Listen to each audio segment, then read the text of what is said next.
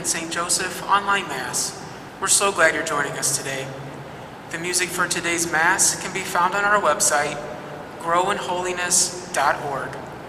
Before we begin, I invite you to take a moment to quiet yourself and prepare yourself for the sacred mysteries we are about to celebrate.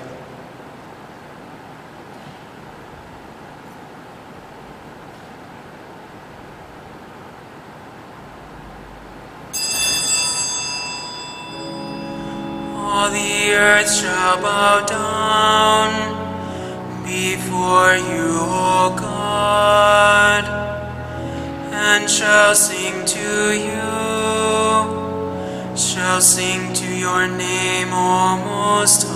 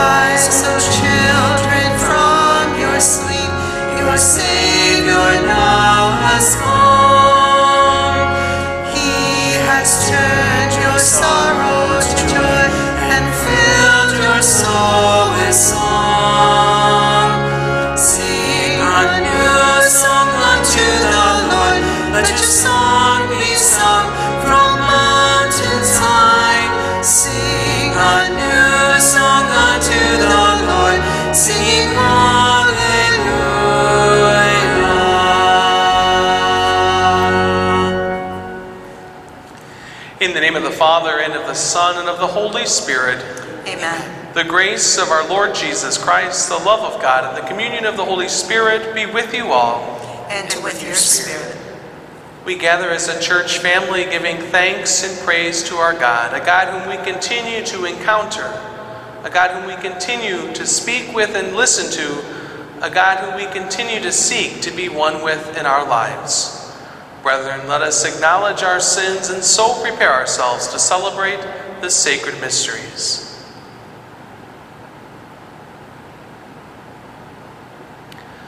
I confess To Almighty God, and to you, my brothers and sisters, that I have greatly sinned in my thoughts and in my words, in what I have done and in what I have failed to do. Through my fault, through my fault, through my most grievous fault.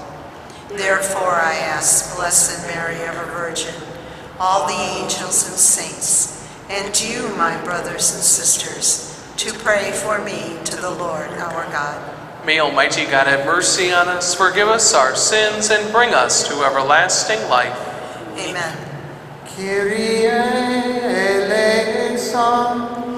Kyrie eleison, Christe eleison,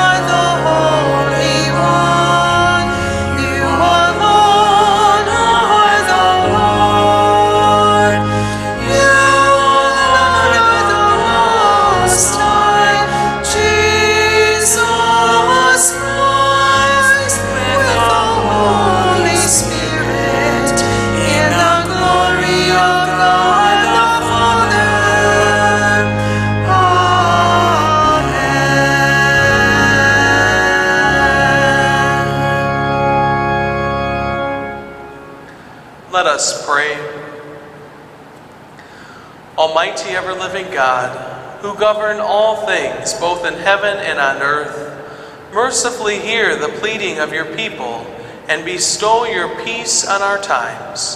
Through our Lord Jesus Christ, your Son, who lives and reigns with you in the unity of the Holy Spirit, one God, forever and ever.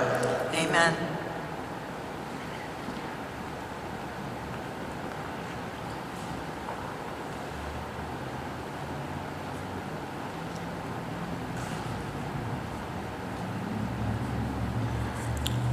A reading from the first book of Samuel. Samuel was sleeping in the temple of the Lord, where the ark of God was. The Lord called to Samuel, who answered, Here I am. Samuel ran to Eli and said, Here I am. You called me. I did not call you, Eli said. Go back to sleep. So he went back to sleep. Again, the Lord called Samuel, who rose and went to Eli. Here I am, he said. You called me. But Eli answered, I did not call you, my son. Go back to sleep. At that time, Samuel was not familiar with the Lord, because the Lord had not revealed anything to him as yet. The Lord called Samuel again for the third time. Getting up and going to Eli, he said, Here I am, you called me. Then Eli understood that the Lord was calling the youth.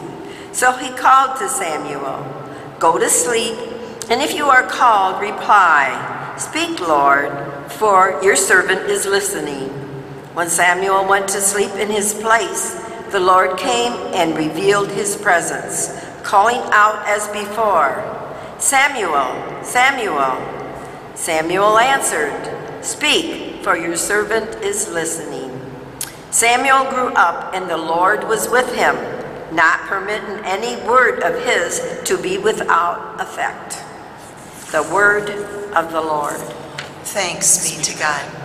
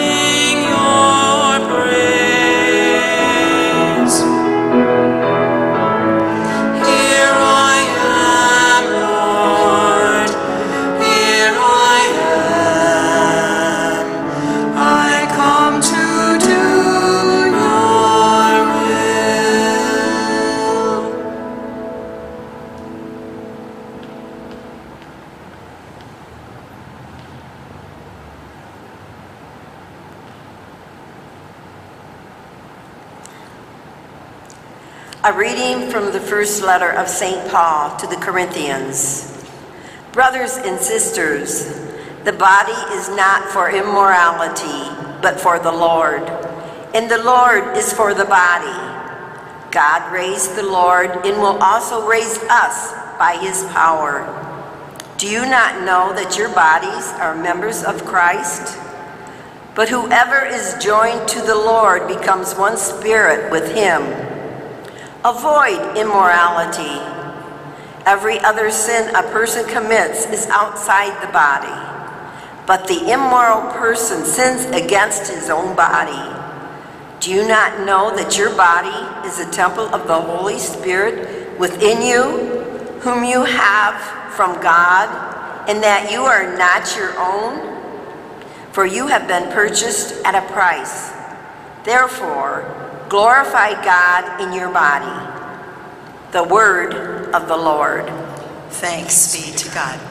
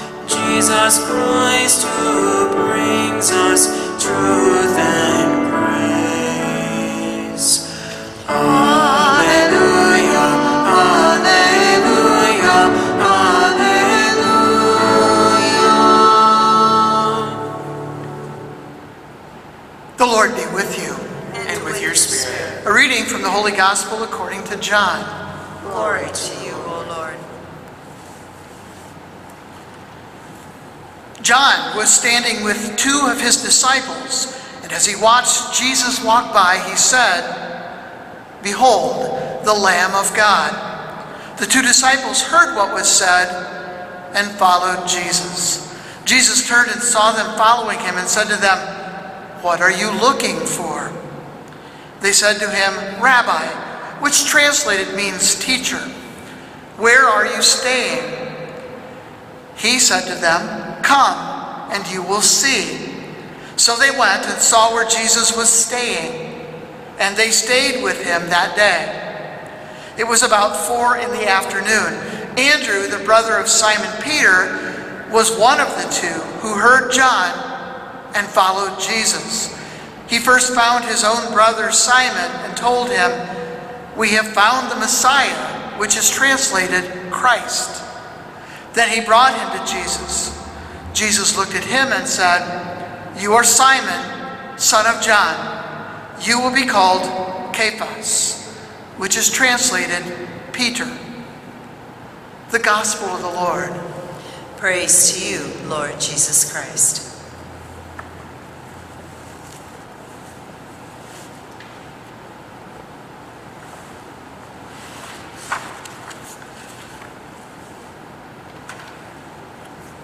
So one of my uh, grandsons was hanging out with a couple of his friends, and they're bragging about their grandfathers. And the first, first of the boys says, "Well, my grandfather, he scribbles a few uh, words on a piece of paper and he calls it a poem, and they give him $50 for it. And the second boy says, Oh, that's nothing. My grandfather scribbles a few words on a piece of paper and he calls it a song, and they give him $100 for it. So my grandson, I've got you both beat. My grandpa scribbles a few words on a piece of paper. He calls it a homily. And it takes a couple of big baskets and a couple of people to collect all the money that people throw at him. So in our gospel today, Jesus turns to the two disciples and he asks them, What are you looking for? And they reply, Where are you staying? And Jesus comes back with, Come and you will see. Now, when you think about that flow of conversation, it's probably just a little bit cryptic. It doesn't make a lot of sense when you piece just those little pieces together in the course of it. There's no flow, there's no logic, and there's not much in the way of substance. In truth, you have to know what goes on before that conversation and what goes on after that conversation to really make sense of the whole thing. But what I like to do with this particular interaction is think of it as a way to analyze prayer or to think about prayer. And prayer, like this little story in the gospel, is a conversation with God. In this case, it was a conversation with Jesus. And I think that the first thing we always need to realize is that God has always been there from the beginning of creation, waiting and asking. Asking, What are you looking for? And our answer might be, just like the disciples, Where are you staying? But in, our, but in our own lives or in our own situations, we might word our response a little bit differently. Like, Where are you? Can you help me? Are you really there? How can you let all this stuff happen out here? Or maybe if we're in a holier mood, it might be, What do you want from me, Lord? Or, Lord, what do you need from me today? And all these prayers, then, and any others that come to mind, God has been there, again, from the beginning of creation, with the same answer that Jesus gave the two disciples Come and you will see. So here's the thing if we really want a relationship with Jesus, prayer's not an option.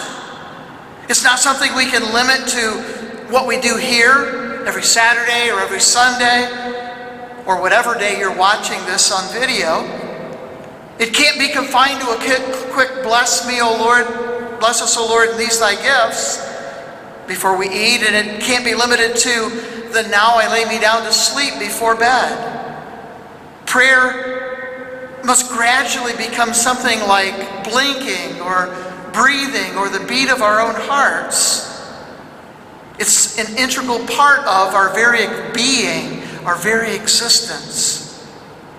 I just downloaded this real short booklet called Eight Ways to Jumpstart Your Prayer Life.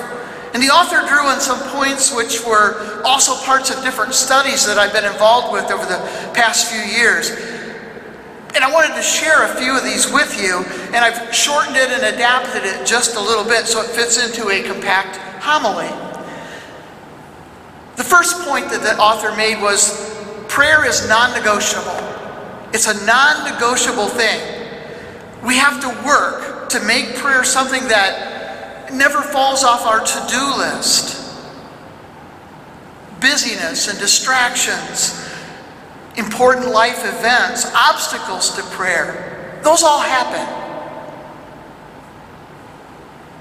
And we never want it to be to the extent that we don't make that time for prayer. And I've noticed in my own prayer life that as I've made the prayer a priority, the busyness, the distractions, the obstacles, the life events that happen, they've had less and less of an effect on my prayer life.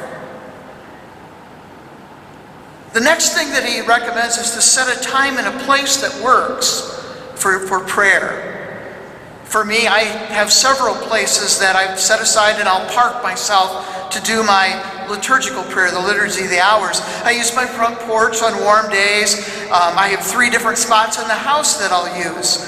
And I use them based on what's going on in the house because different ones have different ways to eliminate the distractions that are around.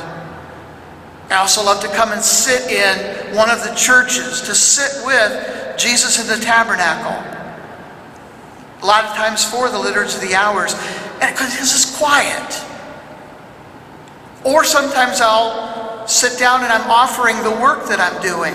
If you ever see me in front of the tabernacle with a stack of file folders, I'm offering up the confirmation kids and the work that they're doing, or the First Communion, First Reconciliation kids and the work that they're doing. The next recommendation is to be flexible.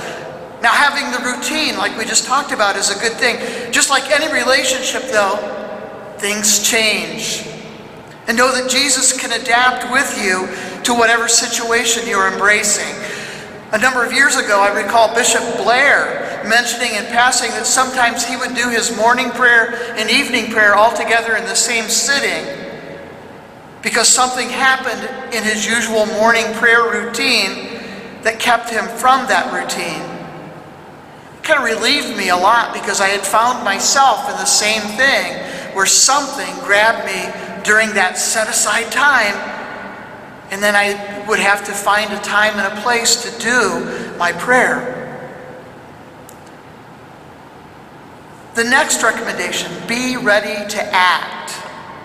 One of the ends in prayers should always be the need to act on what Jesus tells us, what we hear in prayer. When he says, Come and you will see to the disciples, they do, they come and see. But Andrew takes it to another step and he goes and finds his own brother and brings him to Jesus because of the, what he heard in prayer, what he heard in his conversation with Jesus. The other day, I wasn't necessarily in prayer, but I was looking for a message, kind of scrolling through the messages on my phone. And as I was reading through the names of the people who I'd shared messages with over time, I was inspired to invite a group of those people to the study I've been running in the St. Joseph Parish Hall on Sunday afternoons. And through the result of those messages that I sent, I doubled the size of the group. And in the end, prayer is a call for conversion. It also means through, it's a means through which we draw closer and closer to our God and understand exactly what we need to do and what we need to be. The other recommendation is this let prayers go up instantly. Whenever something goes very well, praise God for it. If I'm in a hurry and all the traffic lights line up for me, thank you, Lord. That was awesome. When someone asks for prayer, stop. Pray right there rather than let it go and forget about it later, which is my usual way of having things happen. Do it right there. And when you need prayer, don't hesitate to ask right away, right then and there. And remember that we also have not just the folks that are around us, but a host of angels and saints who are our communion of saints who can pray for us as well, waiting to assist us in prayer and draw us closer to Jesus. So let's kind of sum that all up then. Prayer is non-negotiable, non-negotiable. Set a time and a place, but at the same time be flexible because things change. Be ready to act. Let prayers go up instantly and ask for them instantly. And like everything, practice makes perfect. Maybe the last thing to say is to be persistent and deliberate. And my friends, let's all grow in holiness together.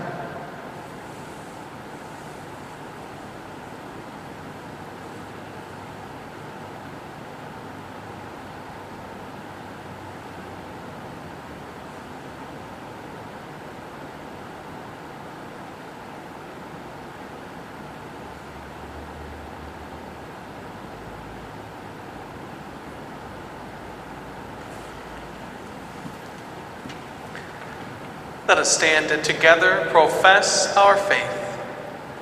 I believe in one God, the Father Almighty, maker of heaven and earth, of all things visible and invisible. I believe in one Lord Jesus Christ, the only begotten Son of God, born of the Father before all ages, God from God, light from light, true God from true God, begotten, not made, consubstantial with the Father. Through him all things were made. For us men and for our salvation, he came down from heaven, and by the Holy Spirit was incarnate of the Virgin Mary and became man. For our sake he was crucified under Pontius Pilate. He suffered death and was buried, and rose again on the third day, in accordance with the Scriptures. He ascended into heaven and is seated at the right hand of the Father. He will come again in glory to judge the living and the dead, and his kingdom will have no end. I believe in the Holy Spirit, the Lord, the giver of life, who proceeds from the Father and the Son, who with the Father and the Son is adored and glorified, who has spoken through the prophets. I believe in one holy, Catholic, and Apostolic Church. I confess one baptism for the forgiveness of sins, and I look forward to the resurrection of the dead and the life of the world to come. Amen. With trust and confidence in our God, let us place our needs before Him. For our country, that we all may be moved by the Holy Spirit to act in a way that promotes love, unity, and peace. We pray to the Lord.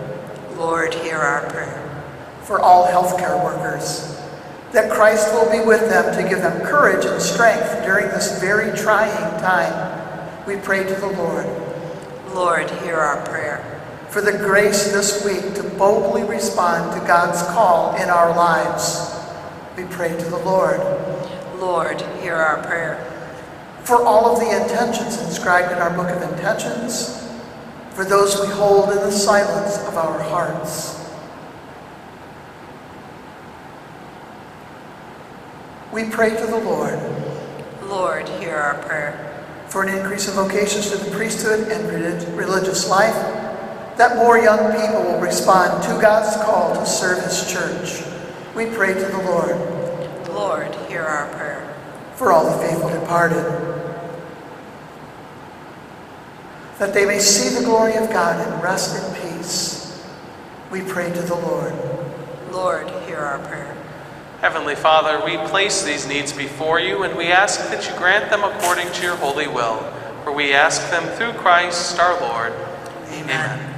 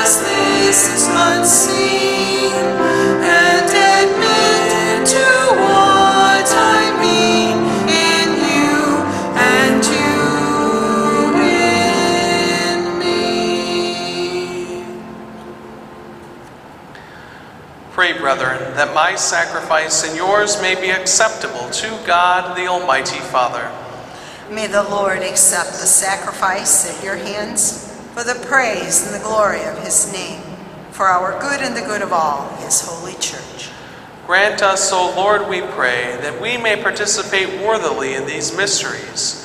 For whenever the memorial of this sacrifice is celebrated, the work of our redemption is accomplished. Through Christ our Lord. Amen. The Lord be with you. And with your spirit, Lift up your hearts. we lift them up to the Lord. Let us give thanks to the Lord our God. It is right and just.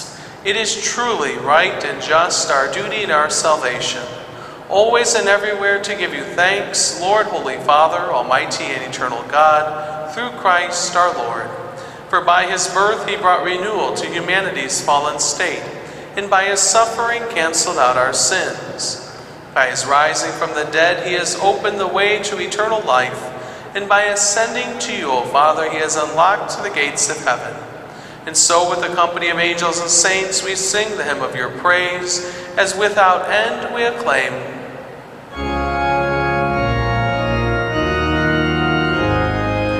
Holy,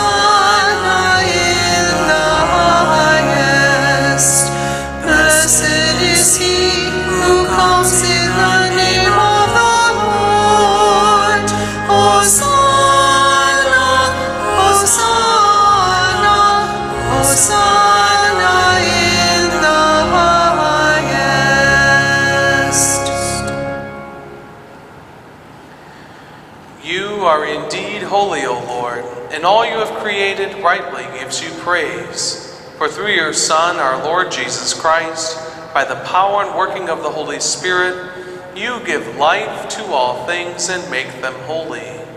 And you never cease to gather a people to yourself, so that from the rising of the sun to its setting, a pure sacrifice may be offered to your name.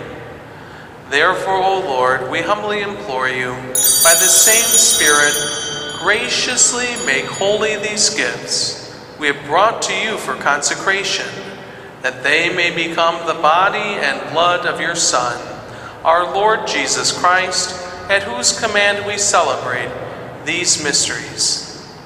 For on the night he was betrayed, he himself took bread, and giving you thanks, he said the blessing, broke the bread, and gave it to his disciples, saying, Take this, all of you, and eat of it, for this is my body, which will be given up for you.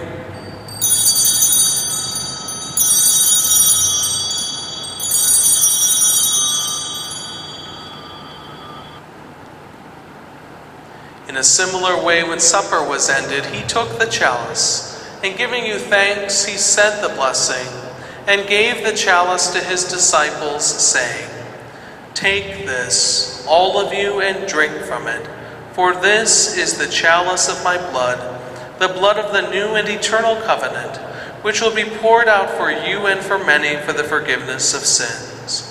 Do this in memory of me.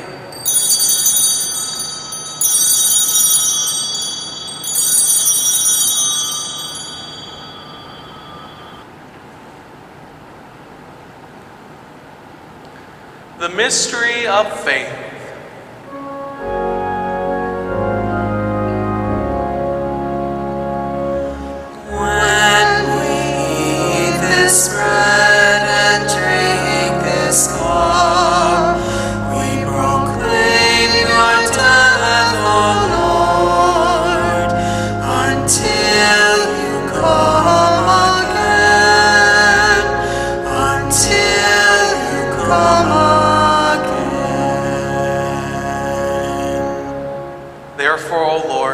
We celebrate the memorial of the saving passion of your Son, his wondrous resurrection and ascension into heaven, and as we look forward to his second coming, we offer you in thanksgiving this holy and living sacrifice.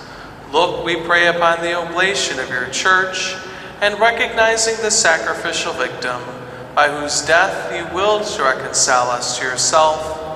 Grant that we, who are nourished by the body and blood of your Son and filled with this Holy Spirit, may become one body, one spirit in Christ. May he make of us an eternal offering to you, so that we may obtain an inheritance with your elect, especially with the most blessed Virgin Mary, Mother of God, with blessed Joseph, her spouse, with your blessed apostles and glorious martyrs, with Saint Ann and with all the saints, on whose constant intercession in your presence you rely for unfailing help. May this sacrifice of our reconciliation, we pray, O Lord, advance the peace and salvation of all the world. Be pleased to confirm in faith and charity your pilgrim church on earth, with your servant Francis, our Pope, and Daniel, our Bishop, the order of bishops, all the clergy, and the entire people you have gained for your own. Listen graciously to the prayers of this family, whom you have summoned before you. In your compassion, O merciful Father, gather to yourself all your children scattered throughout the world. To our departed brothers and sisters, and to all who were pleasing to you at their passing from this life, give kind admittance to your kingdom. There we hope to enjoy forever the fullness of your glory, through Christ our Lord, through whom you bestow on the world all that is good.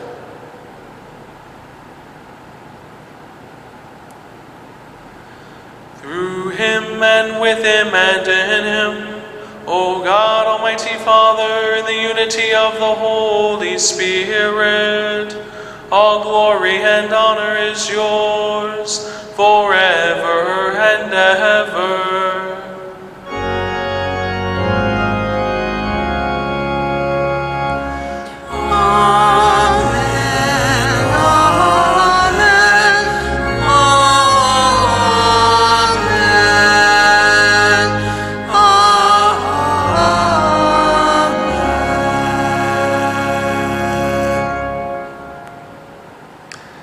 At the Savior's command and formed by divine teaching, we dare to say, Our Father, Father, who art in heaven, hallowed be thy name. Thy kingdom come, thy will be done, on earth as it is in heaven. Give us this day our daily bread, and forgive us our trespasses, as we forgive those who trespass against us. And lead us not into temptation, but deliver us from evil. deliver us, Lord, we pray, from every evil. Graciously grant peace in our days, that by the help of your mercy we may be always free from sin and safe from all distress, as we await the blessed hope and the coming of our Savior, Jesus Christ. For the kingdom, the power, and the glory are yours, now and forever. Lord Jesus Christ, who said to your apostles, Peace I leave you, my peace I give you, look not on our sins, but on the faith of your church, and graciously grant her peace and unity in accordance with your will, who live and reign forever and ever. Amen. The peace of the Lord be with you always. And with your spirit.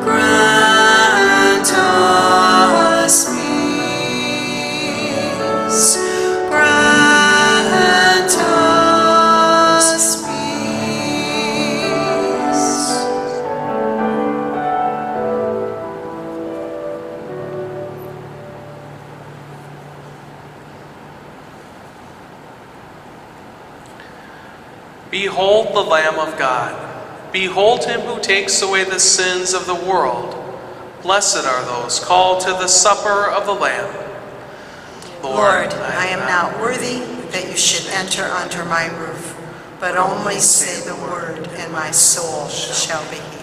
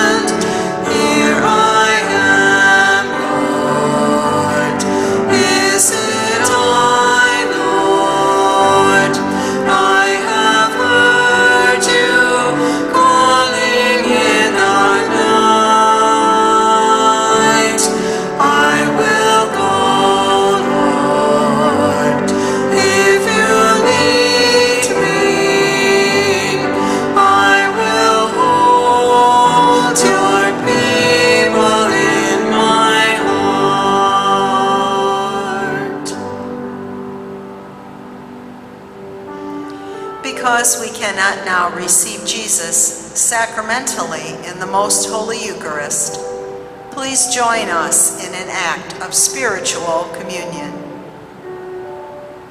My Jesus, I believe that you are present in the most holy sacrament. I love you above all things, and I desire to receive you into my soul. Since I cannot at this moment receive you sacramentally, come at least spiritually into my heart. I embrace you as if you were already there and unite myself wholly to you. Never permit me to be separated from you. Amen.